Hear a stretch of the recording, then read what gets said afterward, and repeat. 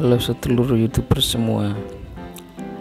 Pada video kali ini Saya akan menjelaskan sedikit Tentang Adanya gerhana matahari total 2024 yang lagi viral di media sosial. Semoga sedulur semua senantiasa diberikan kesehatan dan dipermudah segala urusan serta dilimpahkan rezeki yang barokah. Amin. Jelang lebaran ada gerhana matahari total pada 8 April 2024 apakah Indonesia dilewati gerhana matahari total? Dan berapa lama bumi akan gelap saat gerhana matahari total ramai soal bumi akan gelap selama tiga hari mulai 8 April 2024 fenomena langka akan terjadi menjelang lebaran. Fenomena alam tersebut gerhana matahari total. Memiliki dampak terhadap penampakan bulan sabit syawal Fenomena ini dapat membuat bulan sabit awal Syawal baru akan terlihat pada 9 April 2024 bahwa lebaran berpotensi jatuh pada Rabu 10 April 2024 karena bulan sabit akan terlihat pada 9 April 2024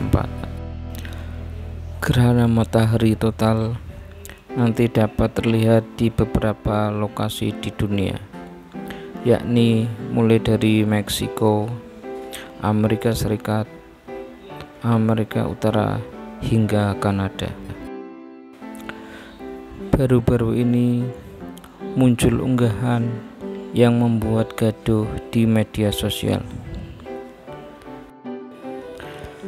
Dengan narasi bumi akan gelap selama tiga hari mulai 8 April 2024 isu tersebut dikaitkan dengan gerhana matahari total 2024 lantas apakah benar bumi akan gelap selama tiga hari?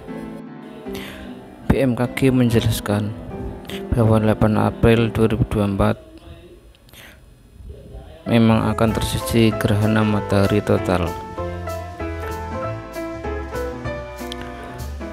Gerhana matahari total dapat dicermati di Amerika Utara, Amerika Serikat, Meksiko, Amerika Serikat bagian tengah, dan Kanada bagian timur.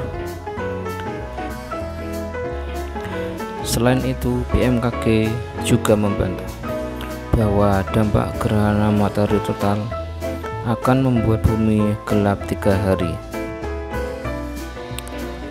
Adapun kota yang terlewati jalur gerhana matahari total dengan durasi totalitas terpanjang adalah 4 menit 26 detik. Nah, seluruh semua tidak perlu khawatir karena simpang siur yang mengatakan bumi dalam keadaan gelap selama tiga hari. Cukup sekian saya Tokyo sampai jumpa